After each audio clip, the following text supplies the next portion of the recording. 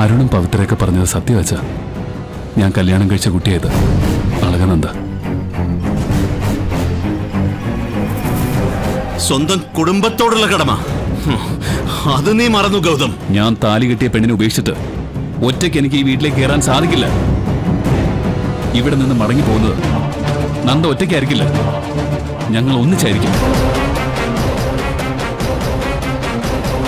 ഗൗതവും നന്ദയും ഇപ്പൊ ഭാര്യ ഭർത്താക്കന്മാരാ.